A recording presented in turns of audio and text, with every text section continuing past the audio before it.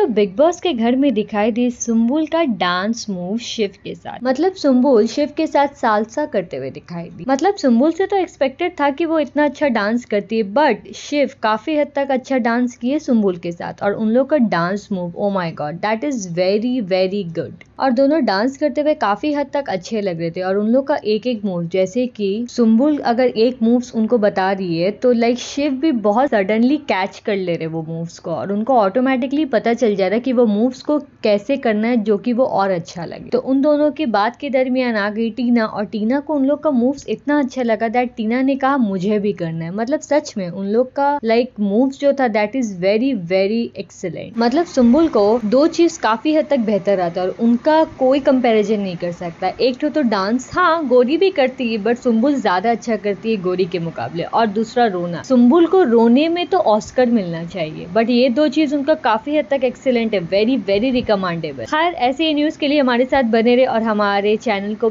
Please subscribe करें।